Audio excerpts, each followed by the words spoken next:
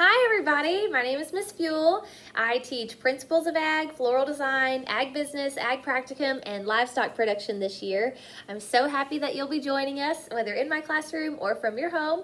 And I can't wait to meet all of you guys, and we have a great year planned. If you want to see what's in store, check out all the videos on my YouTube channel. I think you'll be pleasantly surprised, and I can't wait to see you.